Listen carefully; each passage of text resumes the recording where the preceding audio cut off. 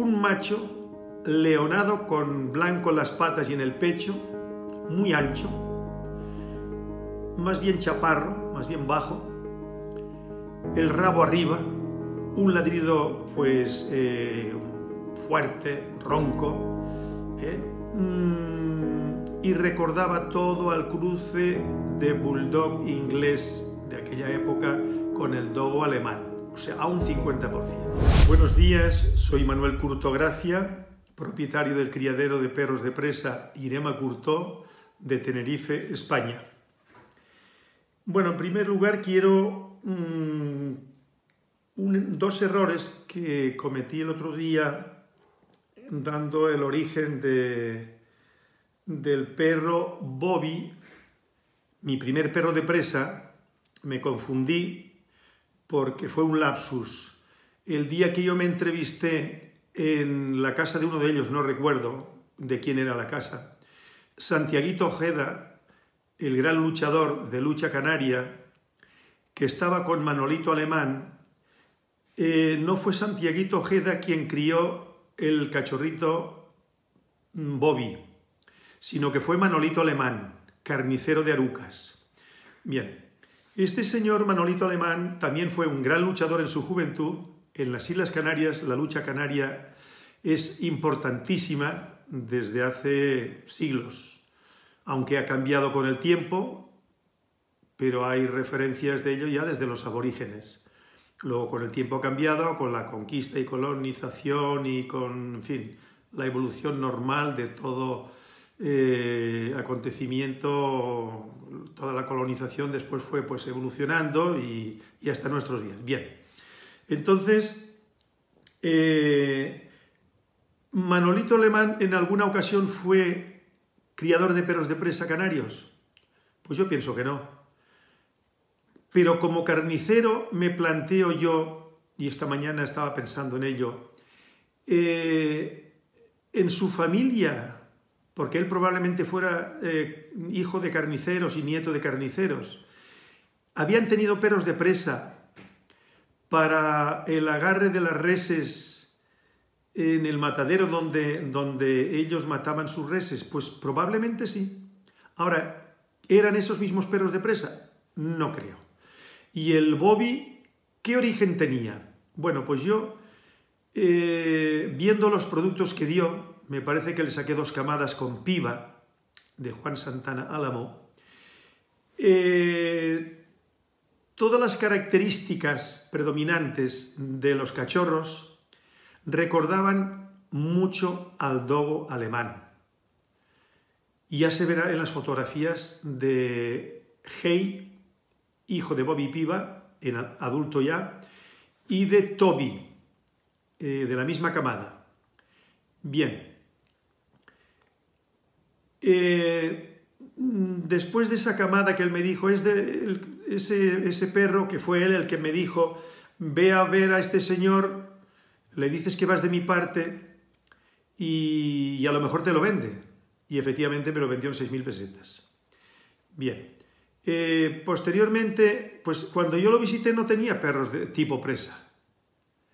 Sí los tuvo bastantes años después que yo lo visité en su finca y en mi libro se puede leer lo que yo hablo de lo que tenía en su finca cuando yo lo visité. Eh, no hay más que ir pues, al libro del 91 y allí encontrarán un apartado donde hablo de él también hablo de Juan Santana Álamo, que es de la misma época, la segunda visita que yo les hice. Bien, ahora vamos a hablar de Piva.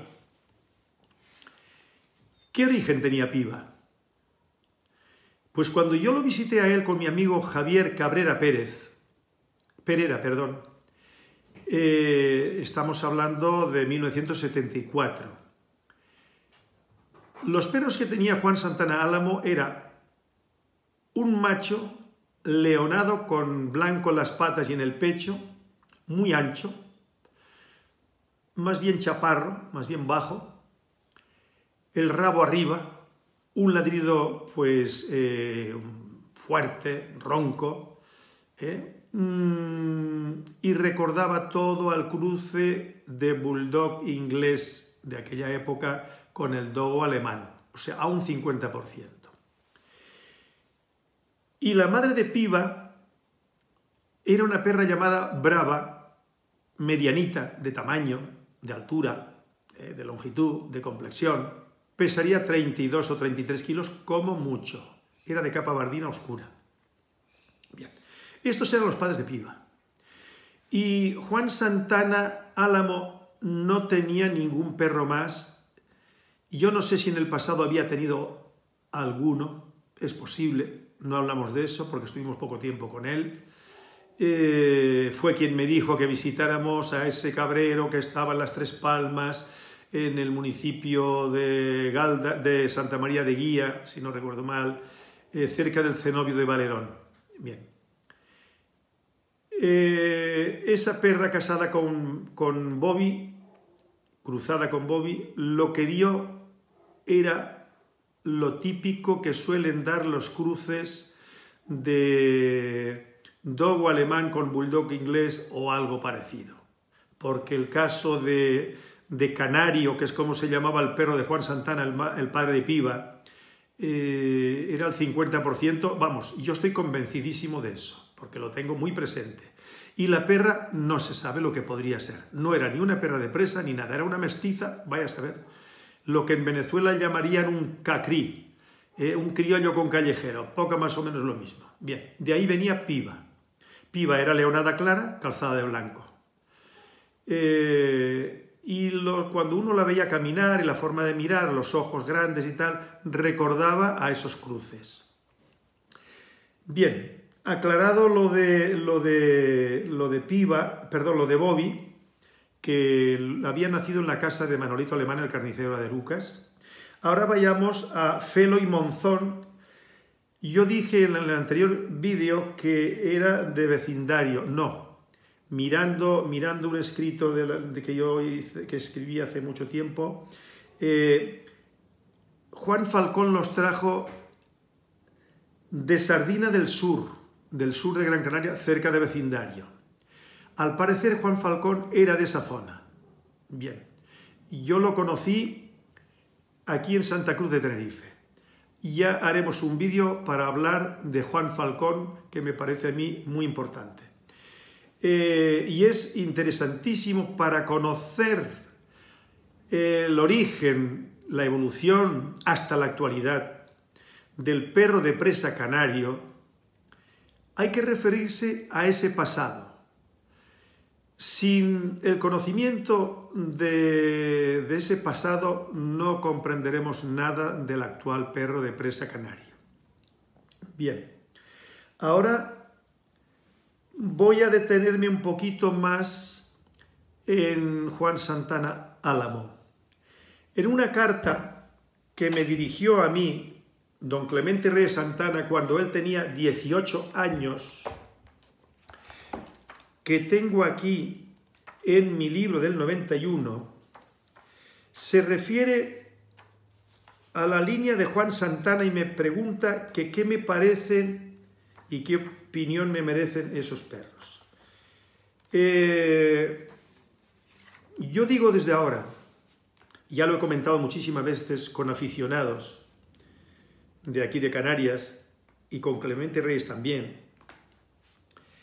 eh, que, porque él se refiere a la línea de Juan Santana en esa carta escrita el 17 de agosto de 1991 y dice que si que qué me parece la línea de Juan Santana, qué opino. Bueno, yo digo que Juan Santana no tenía ninguna línea, ni ningún plan de cría, ni un concepto de raza. Pero es que en aquella época no era solo Juan Santana, nadie, absolutamente nadie. Eh, probablemente el, el, cruzar perros eh, en, en, esas fechas, mediados de la década de los 70, venía de lo que quedaba en la memoria de aquellas personas, de los cruces que se hacían para obtener perros para la pelea. No tenían nada que ver, ni tenían conciencia, ni conocimiento de perros anteriores, yo que sé, de los años 30 para abajo, hasta principios de siglo. No. Es más, eh, yo también alguna vez me confundo cuando, porque claro, uno está siempre hablando de estos temas y a veces uno se confunde. Las peleas se prohibieron, bueno, hasta cierto punto, tanto en Gran Canaria como en Tenerife. No había una ley. Pasaron a ser proscritas, diría yo. Pero mm, hay que tener en cuenta que hasta los años 60, poco más, poco menos, las pechadas era un espectáculo incluso público. Hay fotografías en mi libro que me pasó don Clemente Reyes Santana en su día, donde hasta el cura asistía en las fiestas patronales a las peleas de gallos, a las peleas de carneros y a las pechadas de perros. Asistía la Guardia Civil, la pareja de la Guardia Civil, el alcalde de la localidad, el cura y un público en general muy diverso, muy heterogéneo, o sea que no había ninguna objeción, no había ningún problema porque hubiera esos acontecimientos en las fiestas patronales y las pechadas cuando se les ocurriera. Pero ya a partir de, no del 45, sino a partir más o menos del 54, que estaba yo ayer mirando, eh, en el libro concretamente, porque yo este libro lo escribí, pero después no lo he leído. Eh, probablemente quedó ahí en la mente de las personas, de algunas personas, eh, el recuerdo ese de cuando ellos eran jovencitos, de las pechadas y de los perros que tenían, pero que esos perros de la época de las pechadas, que algunos eran extraordinarios y que había entre muchos de ellos un denominador común, ¿no? Claro, si cruzaban más o menos con, los mismos, con las mismas razas de perros, por ejemplo, eh, dogo alemán, bulldog inglés de la época, Bull Terrier, mastín español, perro majorero, y todo eso se iba ahí mezclando, pues es lógico y normal, es comprensible que hubiera en cierto modo homogeneidad, ¿no? Y ahí tenemos, y, en, los, perros que se cruzaban en Tenerife, en la caseta de madera, que eso está en el libro también recogido, pero ya hablaremos en algún vídeo sobre ese particular, eh, sobre ese tema, mm, también estaban eh, estaban los, los, que pechaban perros, o sea, que peleaban perros. Eh, conocemos muchos peleadores, bueno, varios peleadores de perros que murieron hace muchos años, eh, de aquella época, porque después de los 70 para acá hubo pechadas otra vez, hubo un resurgir. Y se ha mantenido hasta hace poco, de forma totalmente clandestina, porque sí que llevan años ya prohibidas por ley. Bien. Entonces, cuando uno piensa en el perro valiente de Santos Elberga, que se puede ver dos fotografías en el libro mío, cuando uno piensa en el perro del, señor Saavedra que se llevaron a Argentina, yo ahora mismo no recuerdo si ese perro quedó en Buenos Aires, porque el señor Saavedra, ya un señor mayor, en su momento, cuando me trajo la fotografía para que yo la viera y para regalarme una copia, yo no sé si fue a parar a Córdoba, de Argentina. Es probable, lo tengo que investigar. Ese perro, otro perro, que yo diría típico. Y el perro que tenía Salvadorito en los nuevos depósitos comerciales cuando se estaban construyendo la dársena exterior en Gran Canaria, era de capa bardina y a mí me impactó mucho y se me ha quedado en la mente. Bien, yo he sacado perros muy parecidos a ese perro y parecidos al, al señor Saavedra y parecidos al de, al de, al de eh, Santos del Verga. Y fíjense que es, los años mm, no eran los mismos, eh, eran aproximados, pero no eran los mismos. Pero sí, sí, la misma época, ¿no? Y hay más fotografías. Ayer mismo Johnny, un amigo mío de aquí de Tenerife, me ha pasado, se lo agradezco muchísimo porque eso es un tesoro, me ha pasado dos fotografías viejas, ahora tengo, mañana viene aquí por mi casa y va, le voy a preguntar, ya se lo he dicho por un WhatsApp, mm, ¿de qué época son esas fotografías y quién las tenía? De un perro de presa en dos fotografías distintas, tirando de un carro, ¿eh? de un carrito, en una fiesta patronal, eh, enganchado, como si fuera una mula, un mulo, un burro, un caballo. Bien, eso es muy interesante. Ahora tengo que investigar mañana a ver si Johnny me puede explicar de dónde proceden esas fotografías. ¿Quién se las ha pasado a él? En fin, eso es importantísimo. Vuelvo atrás. Eh, eh, Juan Santana Álamo nunca fue criador, repito. Luego, ¿qué queda de aquello que Juan Santana, de aquellas dos o tres camadas que crió? Que por cierto, hay una fotografía de un perro leonado, de una camada anterior a Piva, de los mismos padres, leonado claro, que adiestró un señor de Galdar, que no es que fuera adiestrador, le gustaba enseñar a los perros y entonces este señor, pues que ya pondremos una fotografía, este señor adiestró ese perro de una camada anterior o dos camadas anteriores, de, o, no sé si eran dos camadas anteriores, una camada anterior era quizá con una diferencia de un año o dos años de, diferencia de la piba a, ese perro. Bien, eh, ¿cuántos perros de esos nacieron? ¿A qué manos fueron a parar? Bueno, pues yo recuerdo que una vez Clemente Reyes Santana, hace muchos años, me llevó a un barrio de Las Palmas de Gran Canaria, cerca de la playa las Canteras, a ver a un joven que había tenido, no sé si era una pareja de perros de los de Juan Santana. Bueno, pero basta que Juan Santana sacara dos o tres camadas y le regalara a uno uno, a un cachorro, al otro una cachorra y así sucesivamente, bueno, pues ya, ya había unos perros ahí eh, que después, pues bueno, como dice Clemente Rey Santana, eh, lo considera línea, eh, cuando yo considero que eso no era ninguna línea de lo de Juan Santana Álamo, de lo que después se crió en la finca que tenía subiendo arucas a la mano izquierda, eh, con los perros que compró el juez de instrucción Fernando de Lorenzo, que en paz descanse, que ya murió mm, bastante joven, yo lo conocí de estudiante, tuve una muy buena relación con él. Bueno, pues este señor eh, juez de instrucción, Fernando Lorenzo, compró un mastín español, una, una mastina española creo que fue, a Gustavo Rodríguez, eh, que había importado de Italia dos parejas, dos machos y dos hembras, y de Inglaterra un macho y una hembra, que eran mastines eh, ingleses. Bien, luego se desprendió de ellos porque no le gustaban ese tipo de perros. A lo que le gustaron eran las Dobermans. Estoy hablando del 73-74. Un poco antes quizá los trajeron. Bien. Eh, esos perros le, le compró uno, una hembra negra, Manolito Alemán al carnicero, a Gustavo Rodríguez.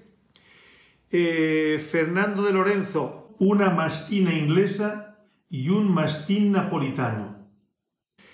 Y yo los vi allí, pues ya no me acuerdo todo lo que era. Y también tenían allí bulldog inglés para, para, para cruzar. Estoy hablando de Juan, en la finca de Juan Santana, una finca de plataneras eh, pero eso ya fue muchos años después del 74-75, ya eso era la década de los 80.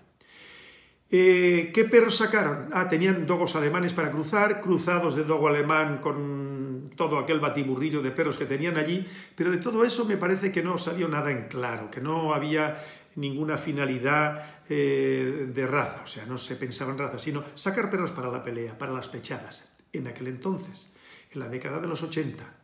¿eh?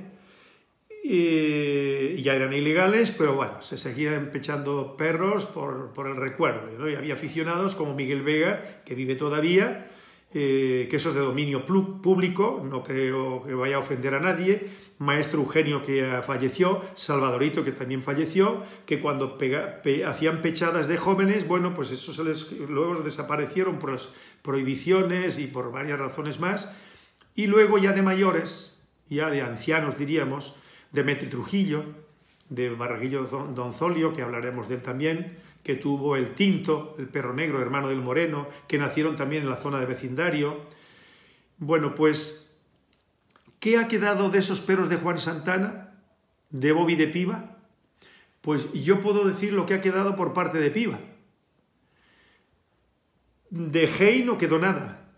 De Toby que yo sepa, del sur, que lo vendí yo a un señor, a Luis, el propietario de la gasolinera del cruce de las Chafiras, aquí en el sur de Tenerife, de eso me parece que no quedó eh, descendencia ninguna. De Piva sí, que iremos desgranándolo, ¿no? Para que sepamos de qué estamos hablando. De aquello que se estaba criando, bueno, de lo que se crió en Guanarteme con los perros de Juan Santana, probablemente no haya descendencia ninguna. Criarían alguno, pero de eso no, hay rastro. Y a mí me parece que no hay rastro. No hay familias de perros en nuestros días donde estén esos perros, ni en Gran Canaria ni en Tenerife. De los perros del juez de instrucción Fernando Lorenzo con, en sociedad con Juan Santana Álamo de la finca de Plataneras en, Arucas, eh, yo pienso que de ahí no queda prácticamente nada. Nada. Y así podríamos hablar de muchas camadas de la época, de esa época, que se estuvieron criando, que de eso no ha quedado nada. Todo eso ha quedado en el tiempo y no ha tenido continuidad. Bien. Bueno, pues aquí ya lo dejo. Hasta el próximo vídeo y seguiremos hablando de personas que han estado de aquella época porque las raíces son muy importantes. Si no, no vamos a comprender nada de lo que estamos haciendo en nuestros días. Muchas gracias, un abrazo y hasta el próximo.